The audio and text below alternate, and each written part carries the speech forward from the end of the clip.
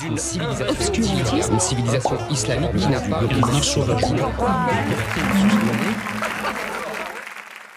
Bonjour, bienvenue dans Rhinocéros. Aujourd'hui, on va vous parler du racisme. On va essayer de regarder comment les médias nous parlent du racisme. C'est vrai que niveau racisme, depuis quelques temps, il y a une actu. Il y a des nazis dans les rues le RN est en tête des intentions de vote pour les européennes. Pascal Pro tient une quotidienne sur CNews. Oui, euh, on va essayer de faire euh, sans Pascal Pro aujourd'hui, parce que moi déjà j'en peux plus de Pascal Pro. On fait, on fait l'émission en entier sans citer Pascal Pro. C'est le petit challenge du jour. Gros challenge. Allez, on va commencer par cette photo. Le week-end dernier, la tête de liste macroniste aux européennes, Valérie Ayé, s'est faite piéger. La pauvre, elle n'avait pas vu que les solides gaillards avec lesquels elle avait accepté de se faire prendre en photo, eh ben c'était des néo-nazis. Dans le rush de la campagne, elle n'a pas eu le temps d'identifier les signes, les symboles, le polo Fred Perry, une marque très prisée des militants d'extrême droite, l'inscription West Cockins sur ce t-shirt, dont le E et le S reprennent la typo des SS. Ah non mais c'est subtil aussi, elle pouvait pas savoir. Hein, euh. Non mais jusque-là quand même. Franchement, la veille dans tout Paris, il y avait un rassemblement de NR qui est venu de toute Et c'est pas ce que c'est que les NR, les nationalistes révolutionnaires, hein,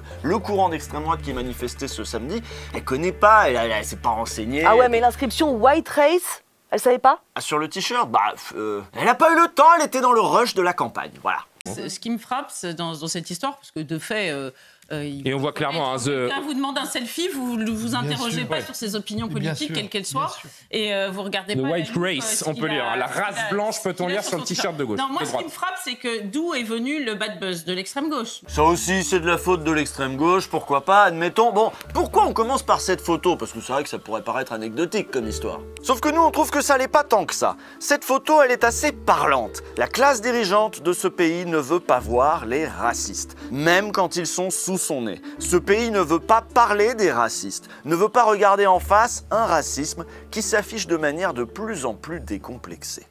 Tout de noir vêtu, visage masqué ou cagoulé, et brandissant des drapeaux avec la croix celtique, plus de 800 manifestants d'ultra-droite sont réunis dans les rues de Paris. Alors de deux choses l'une, soit la France n'a pas de problème avec le racisme, soit le racisme n'est pas un problème en France. Ah oui, ben, je crois que c'est plutôt ça. Hein. Parce que Macron, Macron là, lui il a un problème, c'est l'extrême droite. Mais on l'entend pas parler du racisme. Ah bah non, ça pourrait stigmatiser les gens qui votent RN, il est coincé, il peut pas. Ah oui, ou alors il veut pas. Oui aussi. Le 11 mai, Macron a publié sur ses réseaux une petite FAQ. Sur ce gros quart d'heure, deux minutes étaient consacrées à la lutte contre l'extrême droite. Écoutez. N'est-ce pas un échec de l'Europe de voir les extrêmes droites monter partout en Europe? Les extrêmes droites, elles se nourrissent de la colère, de la peur, du rejet de l'autre, assez classiquement. Et je ne stigmatise là aucun de leurs électeurs. Moi, je ne juge pas les gens qui votent pour tel ou tel parti, je combats des idées. Mais quand je regarde les programmes des extrêmes droites, elles sont plutôt sur des logiques, en effet, de, peur, de colère, de ressentiment. Et puis les extrêmes droites, elles euh, utilisent aussi des moyens beaucoup plus sur l'émotion négative que sur l'argument. Deux minutes de blabla comme ça, deux minutes sans prononcer une seule fois le mot racisme. On dirait que c'est un mot interdit en fait. Le premier qui le dit, il a perdu. En fait, le problème, le problème, c'est que raciste, c'est perçu comme une insulte. Personne n'a envie d'être traité de raciste. Même Marine Le Pen, elle récuse le terme fermement. Mais je ne suis absolument pas raciste et j'ai eu l'honneur de diriger un mouvement politique euh, qui jamais dans son histoire n'a eu dans son projet euh, la moindre proposition raciste. Et puis d'ailleurs, son père non plus n'était pas raciste, hein, c'est bien connu. Écoutez, je, un premier point, euh, je ne suis pas euh, raciste. En même temps, c'est super con de juste lui poser la question comme ça. Est-ce que vous êtes raciste? Enfin, c'est le, degré zéro du journalisme. Oui, bah écoute, apparemment, ça se fait encore. Au départ, je voulais pas vous rencontrer parce que pour moi, dans ma tête, voilà, vous étiez antisémite, vous étiez raciste, vous étiez homophobe. Est-ce que vous êtes raciste? Mais, mais, non, mais pourquoi? Toute ma vie, j'ai prouvé que je ne l'étais pas. Pourtant, il n'y a pas besoin de fouiller longtemps dans les archives pour voir que le vieux se fout complètement de notre gueule. Allez, tiens, celle-là au hasard. Ça date de 1996. Je crois l'inégalité des races, oui, bien sûr. C'est évident. Euh, toute l'histoire le démontre. Elles n'ont pas la même capacité ni le même niveau d'évolution historique. Bon, on est d'accord, en face d'un raciste, ça sert à rien de lui demander s'il est raciste. C'est vraiment une question pourrie. Ouais, bah du coup on est emmerdé là. comment on va faire pour les débusquer? Parce que là on est bien feinté. S'ils nous disent non à chaque fois. C'est une vraie question ça. Comment elle aurait pu faire Apolline de Malherbe la semaine dernière face à Marine Le Pen? Parce que bon là les résultats étaient pas probants hein. Je ne suis pas raciste, euh, mon parti ne porte pas euh, de propositions euh, racistes. Bon, ça s'est tellement bien passé pour la patronne du RN qu'elle s'est même permis de remercier remercier la chaîne d'avoir pu faire ce petit point de clarification. Euh, merci de me permettre d'ailleurs de dire que ceux qui ont laissé penser que qu'on pouvait euh, euh, qu'on pouvait être raciste au motif qu'on est contre l'immigration sont vraiment des gens malfaisants. Selon les médias, le RN n'est plus raciste. C'est le titre d'un article de Pauline Bock paru le 8 mai sur le site Arrêt sur Image. Un article dans lequel cette journaliste malfaisante revenait sur l'interview de Marine Le Pen par Apolline de Malherbe. Pour elle, c'était ni fait ni à faire. Précision. Apolline de Malherbe n'a pas posé la question est-ce que vous êtes raciste? Elle a dit qu'il y avait des auditeurs qui avaient appelé et que bah ils avaient des doutes les auditeurs. Mais aussi un certain nombre de questions qui n'étaient même pas des questions d'ailleurs, qui étaient plutôt des, euh, affirmations sur le fait que vous étiez raciste. Euh, un grand nombre euh, qui nous disent pourquoi vous êtes raciste, Marine Le Pen? Mais je ne suis absolument pas raciste. C'est pire parce que là, elle assume pas sa question, elle se planque derrière les auditeurs. Bah, de toute façon, la réponse est la même. Marine Le Pen n'est pas raciste. Caramba Encore raté Ah, ils sont forts, hein Putain dans l'article dont on vous parlait juste avant, Pauline Box est interrogée sur cette interview. Peut-être qu'il aurait fallu contester les dénégations de Marine Le Pen, si ça se trouve c'était jouable. Elle écrit Apolline de Malherbe ignore-t-elle que pas plus tard que le 3 mai, soit trois jours avant l'interview de Marine Le Pen, qu'elle devait déjà être en train de potasser, en Bourgogne-Franche-Comté, un élu RN a employé un terme nazi en plein conseil régional Tout ça alors que le député RN Julien Audoul venait de lancer une vague de harcèlement raciste sur notre consoeur et collègue Nassira El-Moadem A-t-elle loupé les tweets haineux d'un militant RN de la Marne qui aime ceux qui tuent du bougnoul et affirmait en mars que le noir, l'arabe et le musulman sont à abattre. Donc voilà, un petite astuce pour les journalistes. Il y a toujours beaucoup de choses à dire sur le racisme au RN. Par contre, il faut, il faut travailler un peu, il faut arriver avec quelques éléments. Je suis désolé, bah oui, une interview, ça se prépare. Tout ça, on vous le disait déjà dans l'épisode sur Quotidien. Ce que le RN craint le plus, c'est le travail journalistique, l'enquête. Sauf que l'enquête, c'est chiant, c'est long, ça coûte cher.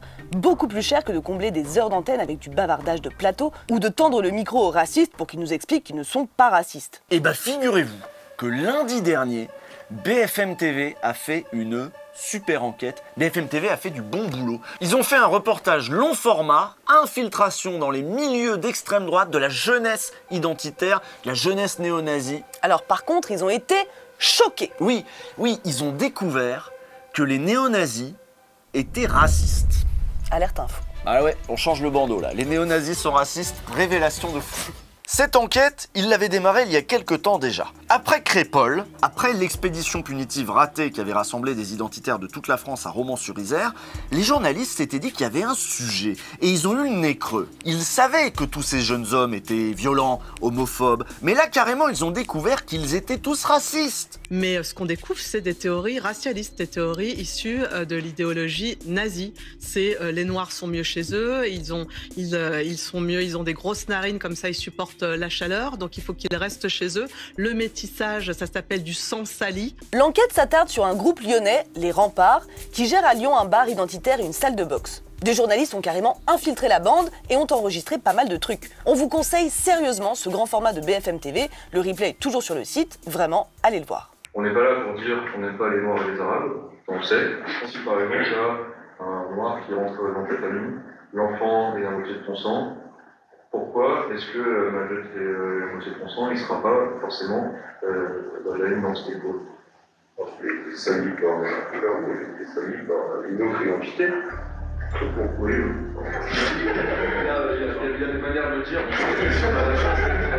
on a la chance d'être entre nous. Et là, les journalistes ont été malins parce que après avoir enregistré ce genre de propos dans la salle du truc, ils ont demandé une interview officielle qui leur a été accordée. Et donc, ils sont allés les voir avec la caméra, le logo officiel et tout, et ils leur ont demandé Est-ce que vous êtes raciste? Ces, ces accusations. Vous dites elles sont fausses Non, c'est même pas qu'elles sont fausses. Elles sont déjà, elles sont, elles sont données par des personnes qui ne nous connaissent pas, qui ne prennent même pas la peine d'échanger avec nous.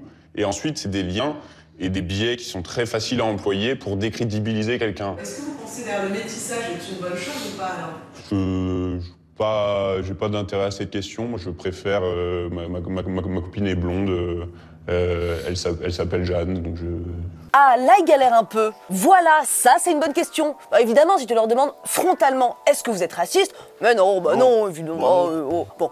Mais le métissage, alors Hein? L'enquête de BFM TV met également en évidence les liens entre ces groupuscules de jeunes et les partis traditionnels. Là-dedans, on trouve bien sûr des gens qui ont des liens avec Reconquête ou le RN, mais on en trouve aussi un, plus jeune, Pierre Louis, qui s'est présenté aux élections sur une liste LR-UDI. Celui-là, il a fini même par être arrêté à la suite d'une agression raciste. Il avait porté 12 coups de couteau à deux jeunes à la sortie d'un bar. Une qui fait euh, bah, toute la longueur du, pansement. Qu'il a fait avec, Qu'il a fait avec le couteau, ouais, bien sûr. J'ai euh, l'arcade aussi qui a pris, l'arcade à côté de l'œil, là. Tous mes vaisseaux sanguins dans mon œil, ils ont, sur les moitié, ils ont explosé. C'est ça qui a failli me faire perdre la vue. Hein. Pendant leur enquête qui a duré 4 mois, les journalistes ont constaté qu'il y aurait eu au moins 4 agressions impliquant des membres des remparts. Et celle dont on vient de vous parler a eu lieu trois jours après l'interview dans leurs locaux. La fameuse interview où ils expliquaient qu'ils n'étaient pas racistes. Et regardez comment ils ont débriefé entre eux cette agression dans leur canal. Bagarre à 3 contre 3 contre des bougnes, Pierre-Louis a eu l'ingénieuse idée de sortir son couteau. Il a piqué des mecs au visage, morts de rire. De quoi rendre la soirée mémorable. Ils avaient pas sorti de couteau, les bougnes? Non. Mort de rire. Crépole, la revanche. Bien joué en tout cas. Des bougnes, vous l'aurez deviné, c'est le diminutif pour euh, bougnoul. Bon, bah c'est incompréhensible tout ça. Euh. Est-ce qu'il n'y a pas un ensauvagement de la jeunesse d'extrême droite, et particulièrement à Lyon, évidemment? Et d'où leur vient ce racisme? C'est incompréhensible. Normalement, il n'y a plus de racisme dans ce pays. Mais oui, c'est vrai, personne n'est raciste. Ni Marine Le Pen, ni Jean-Marie Le Pen. Il n'y a pas de raciste. Donc comment il y aurait du racisme? Vous le savez bien, le RN n'est plus raciste. Les électeurs du RN, pareil, ils ne sont pas racistes. Ils sont en colère, ils sont en insécurité culturelle, ils sont déstabilisés par la mondialisation, comme Colombe. Elle se rendait à un meeting du Rassemblement national lorsque Colombe, aide-soignante à la recherche d'un emploi, craque. Regardez, moi je suis RSA et on a du mal à vivre. On ne peut pas payer les factures. Une situation personnelle difficile et un retentissement politique instantané. Bon, vous avez certainement déjà vu passer cette histoire, on va pas être trop long là-dessus, mais en revanche, on a trouvé que c'était vraiment typique de la façon dont les médias traitaient l'électorat RN. En plus, ça va complètement dans le sens de ce que raconte le RN sur son propre électorat, c'est quasiment un clip de campagne du RN, hein, que le RN n'aurait pas pu faire tout seul. Heureusement, il y avait Paul Larouturou qui était là, il traînait autour du meeting, il a tendu le micro à une dame, un meeting de Bardella à Perpignan, et la dame, elle était, bah, elle était un peu émotive, la dame, elle était là, oui, on n'en peut plus. Hein. Voilà, et Paul Larouturou, il a fait super, c'est dans la boîte, génial, je rentre à Paris, j'ai un truc là. Travail journalistique, Zéro. Vous pouvez enlever vos lunettes? Ah oui, ça c'est son travail journalistique, c'est qu'il a dit Oh là là, elle pleure, vas-y enlève tes lunettes, vas-y pleure devant la caméra, pleure Colombe est galère, Colombe elle a perdu son taf, Colombe, elle est bénévole au Resto du Cœur. Elle est adorable, Colombe. Je pourrais vous dire qu'elle adore tricoter, qu'elle adore la country, qu'elle est fan de Renault, de Corinne Maziero, qu'elle a deux chats qui ne sont pas comme le petit chat tout à l'heure, prénommés Snoopy et Nio. Sauf que bon, Colombe, elle vote pour les Le Pen depuis les années 90. Elle n'a pas attendu la stratégie de la cravate et des petits chats. Elle votait déjà Jean-Marie Le Pen. On se remet un petit coup là de Jean-Marie Le Pen des années 90 Trois, l'inégalité des races, oui, bien sûr. Nous sommes victimes de propagande des communistes, des homosexuels, n'est-ce pas? C'était ça, Jean-Marie Le Pen. Hein. À l'époque, avec Colombe, elle a vu ça, elle a fait Ah bah ça c'est bien, ça je vote ça. La question, du coup, elle se pose est-ce que Colombe, elle est pas un peu raciste aussi? Bah, comment on pourrait savoir ça? Ah bah, je sais pas comment on pourrait faire.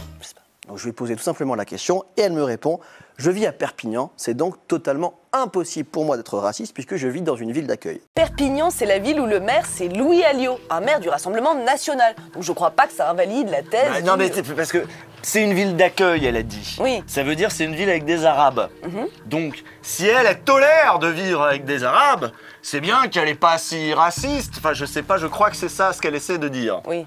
Oui. Mm.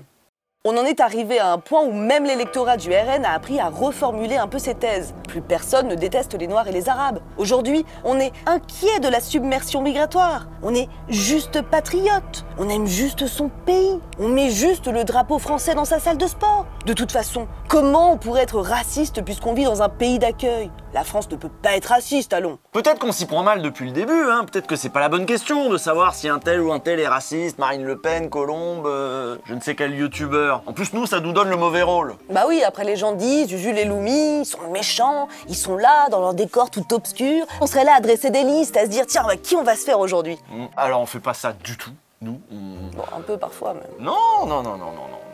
En tout cas, voilà, euh, de toute façon, ça sert à rien. Ça sert à rien parce que personne n'est raciste dans ce pays, c'est bien connu. il n'y a pas de racistes. Et pourtant, il y a du racisme dans le pays. Il y a les gugus qu'on a vus juste avant, par exemple. Ben, ceux-là, ils agressent. Il y a des agressions racistes dans le pays tout entier. Hein. Il y a des attentats déjoués, il y a des mosquées taguées, il y a des mosquées auxquelles parfois on fout le feu. Des meufs se font arracher leur voile dans la rue. Puis même les discriminations, en fait, ça existe. On n'est pas fou. Il y a du racisme dans le pays. Seulement, les agressions racistes, elles ne bénéficient pas d'une grosse couverture médiatique. Vous vous souvenez de Mourad le jardinier? On vous en avait parlé dans notre épisode sur Crépole. C'était une agression au cutter. Un coup avait été porté au visage de la victime, Mourad, qui était en train de bosser quand un vieux lui est tombé dessus en proférant des injures racistes. Depuis, figurez-vous que l'affaire a été jugée. Écoutez ce qu'on pouvait lire dessus en janvier dans le Figaro. La question du racisme s'est retrouvée au cœur des débats. Qu'est-ce que ça veut dire un bougnoul? a demandé la juge au septuagénaire. Un maghrébin, a-t-il fini par répondre après plusieurs relances. Monsieur, est-ce que vous êtes raciste? L'a interrogé une assesseure. Pas du tout, a-t-il assuré. C'est factuel, il est raciste, a tranché l'avocat de la victime, maître Mourad Batik, pour qui cette idéologie, il en est aussi la victime, avant d'en être le bras armé. Vous avez bien entendu, l'avocat de la victime dit que l'agresseur, en fait, eh ben, même lui, il est raciste, mais en fait, lui, il est aussi victime de l'idéologie raciste. En fait, on a presque deux victimes, là. Alors, il a pris 4 ans de prison, dont un ferme, mais on imagine qu'on vous l'apprend parce qu'il n'y a pas eu vraiment de suivi médiatique là-dessus. D'ailleurs, ce genre d'affaires, ça intéresse peu, donc en principe, c'est pas très suivi. L'agression des deux jeunes à Lyon, ceux qui se sont fait choper par les gars des remparts. Nous, on en avait entendu parler parce qu'on est lyonnais. On suit ce qui se passe chez les fachos, on est obligé, mais pareil, aucun écho médiatique au-delà de la presse locale. Pourtant, des agressions comme ça, il y en a pas mal, partout en France. Qu'on parle de vieux un peu zinzin matrixés par CNews ou de jeunes bourgeois rebelles qui veulent sauver la race blanche, on pourrait presque commencer à parler d'un racisme d'atmosphère, comme dirait l'autre. Dans les grands médias, on ne s'en inquiète pas, on va pas faire de grandes soirées spéciales sur le sujet, on ne se demande même pas comment lutter contre. Ah non, mais c'est fini, ça c'était dans les années 80, maintenant c'est ringard tout ça. Aujourd'hui, les Français, ils en ont marre de pas avoir le droit d'être racistes. Voilà, et il faut les comprendre, parce qu'ils sont à bout, les Français. Pourtant, le racisme reste par exemple un déterminant essentiel du vote RN. On peut le mesurer, il suffit de faire de la sociologie un peu sérieusement, des enquêtes, des questionnaires, des entretiens. C'est ce qu'a fait Félicien Faury pendant des années. Il s'est installé dans le sud-est de la France pour travailler de près sur les motivations du vote pour l'extrême droite. Il faut rappeler également que le racisme, euh, ça a été un peu dit, mais c'est pas une haine de l'autre abstraite, mais c'est un affect qui se greffe à des intérêts sociaux et notamment à des intérêts matériels. Euh, sur mon terrain, la dimension raciale du vote RN renvoie aussi et même surtout à des préoccupations qui sont proprement socio-économiques. Son bouquin s'appelle Des électeurs ordinaires et il a été invité à en parler sur France Culture dans la matinale chez Guillaume Erner. Et alors là, attention, vous allez voir que ça n'a pas été facile. Des électeurs ordinaires, c'est euh, cette étude que vous consacrez à, euh, je vous cite, euh, la normalisation de l'extrême droite et c'est aux éditions du Seuil. Et aujourd'hui, cette euh, normalisation, si j'ose dire, on, va discuter bien sûr ce, terme, elle a un visage et ce visage, c'est euh, celui de Colombe. Et voilà, Colombe On y revient, on y revient à Colombe. Guillaume Erner est d'accord, hein, euh, c'est le visage de l'électorat RN, c'est elle, c'est Colombe. Là-dessus, il est d'accord avec André Berkoff de Sud Radio. Résumé, un résumé, un miroir d'une certaine France, il est là.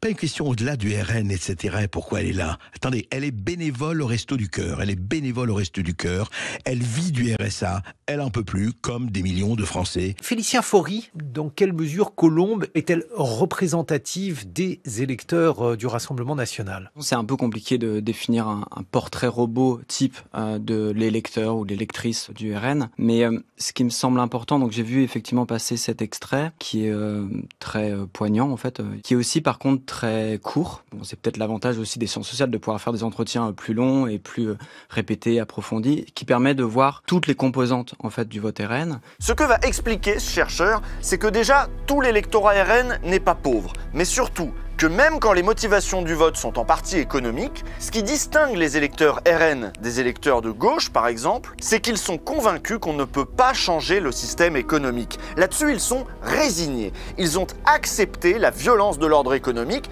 quand bien même celle-ci s'exercerait-elle sur eux et leurs enfants. Par contre, dans ce système, ils pensent qu'ils s'en sortiraient mieux si on traitait d'autres groupes sociaux plus durement, si on leur réservait à eux les prestations sociales, les services publics, les logements, les emplois. Le RN appelle ça la préférence nationale. Et quand on creuse un peu avec les enquêtés, il est clair que le groupe à qui il faudrait couper toutes les aides, il est déterminé par des critères racistes. C'est comme ça que l'électorat RN comprend l'idée de préférence nationale. Voilà, donc c'est raciste. En fait, on vote RN parce qu'on veut que s'appliquent des politiques racistes mais est-ce qu'on peut le dire ça sur les plateaux? Eh ben ça devient compliqué, même sur France Culture. Là aussi, on préfère parler de la colère et du désespoir de toutes ces pauvres colombes. Écoutez Guillaume Erner formuler sa prochaine question et regardez tout l'effort qu'il doit faire pour évoquer le racisme sans parler de racisme. C'est très compliqué. Attention, cette cascade est réalisée par un professionnel. Dans l'échantillon que, que vous avez rencontré, beaucoup de personnes évoquent leur sentiment de mal-être vis-à-vis, alors euh, les termes euh, peuvent varier, mais des musulmans, des arabes, comment ces gens-là vous ont-ils parlé et euh, que vous ont-ils dit sur leur colère, leur mal-être, bref, les différentes gradations donc de leurs sentiments mais c'est dingue ça, euh, on est d'accord. Mais oui, mais si on dit raciste, on stigmatise des gens. Faut pas stigmatiser les gens. Tu voudrais, toi, stigmatiser cette pauvre colombe? Arrêtez avec Colombe Vous me faites chier avec Colombe tous voilà, faut arrêter avec Colombe. Et pourtant là, c'était un festival. Tout le monde voulait convaincre Colombe. Tout le monde se posait cette question comment conquérir ces électeurs convertis aux idées du Rassemblement national? Je leur dis vous vous trompez si vous pensez que l'alternative elle est du côté du Rassemblement national. Au contraire, l'alternative elle est auprès de ceux qui sont dans les manifestations pour défendre le droit à la retraite, par exemple. L'extrême droite n'y est jamais. Ah, je, je, lui dis de tenir bon, on arrive. Voilà ce que je dis à Colombe et à toutes les colombes de France. Et tout ça à partir d'une interview à la volée, d'une séquence de 3 minutes qui avait tourné sur les réseaux sociaux. Ce qui est frappant, c'est la disproportion entre l'attention médiatique accordée à cette toute petite séquence quand on la compare au traitement dont a bénéficié le bouquin de Félicien Faury par exemple. Faury a fait quelques plateaux intello bien sûr, mais à chaque fois on le mettait en face d'Alexandre Devecchio, un journaliste du Figaro qui venait le contredire, qui venait expliquer que non, les électeurs du RN n'étaient pas racistes. Le racisme, c'est l'idée de la, hiérarchie des, races, et en gros, si on prend la situation contemporaine, ce serait l'idée que les Noirs ou les Arabes seraient euh, inférieurs par nature ou violent par nature. Moi, j'ai grandi en banlieue. J'ai pas l'impression que ce soit euh, euh, l'état d'esprit des gens qui habitent là ou même dans le périurbain où j'ai des amis et, que, je, que, je, connais bien. Oui, c'est quasiment un expert du périurbain, le gars. Euh, l'autre fois, il est allé chez son beau-frère. Il lui a dit, le beau-frère, il lui a dit, bah, oh, ici, c'est pas plus raciste qu'ailleurs. Ah bah qu'est-ce que tu vas faire là en face, le sociologue de mes couilles là Hein? Non mais même sur France Culture, c'était la même chose. Ils ont mis le même Charlot en face du même sociologue sur France Culture. Ouais ouais, l'autre avec ses analyses au doigt mouillé, ils lui ont dit très sérieusement, très bien, on va vous donner le même temps de parole que le sociologue. Qui est effectivement, parfois Félicien Foury qualifie de racisme le fait que certains électeurs, alors peut-être avec des mots crus, déplorent qu'il n'y a pas assez de mixité euh, dans leur quartier, déplorent qu'il y a euh, trop de voiles, euh, par, exemple. Et je pense que ça, c'est un, réflexe défensif, mais aussi lié à un communautarisme qui peut parfois euh, être agressif. Donc voilà, même s'ils sont un peu racistes, au final, il faut bien les comprendre. je sais pas s'il y a beaucoup de racistes sur les plateaux, en tout cas il y a beaucoup de défenseurs des racistes, hein, qui viennent leur trouver toutes les excuses, les défendre à tout prix, ça c'est clair. Est-ce qu'on aura un jour un débat là-dessus, sur cet aveuglement? Va falloir que ça bouge un peu dans les rédactions, hein, parce que en préparant ce sujet, ce qu'on s'est dit, c'est que cet aveuglement, déjà, il a des conséquences. Il invisibilise les agressions racistes toute l'année, il permet le vote RN, il l'excuse et il le fait monter, sans doute même. Est-ce qu'il est possible de parler de racisme, d'en parler bien, de prendre le temps? Oui, c'est possible, mais sur Internet. On vous renvoie à la chaîne YouTube Histoire Crépue, qui travaille entre autres sur ces questions depuis quelques années, mais aussi au podcast Kif Taras de Rokhaya Diallo et Grassly, dispo sur toutes les plateformes. Mais dans les grands médias, pourquoi cette question n'est jamais abordée? Allez, je vous cacherai pas qu'on a quelques hypothèses. Peut-être que ça se passe comme ça parce que, que ce soit à la tête de l'État ou à la tête des grands médias, euh, bah, c'est un entre-soi blanc, bourgeois, qui s'est pas tellement interrogé euh, sur son propre racisme, qu'il reproduit assez aisément et qu'il tolère assez facilement finalement. Il y a une tolérance, voilà, on peut le dire comme ça, il y a une tolérance, t'as le droit d'être raciste dans ce pays en fait. T'as le droit mais il faut quand même commencer par dire euh, je ne suis pas raciste, hein, bien sûr. Ça, je pense que même Pascal Pro pourrait le faire. Oh bah il l'a déjà fait. Oui, oh bah voilà. Et on l'a pas cité, on a, on a gagné le challenge, on a réussi. Ah, bravo. Allez, on se retrouve dimanche prochain. Et pendant que je vous tiens là, abonnez-vous à Blast. Ça vous montrerait bien que vous, par contre, vous, vous n'êtes pas raciste.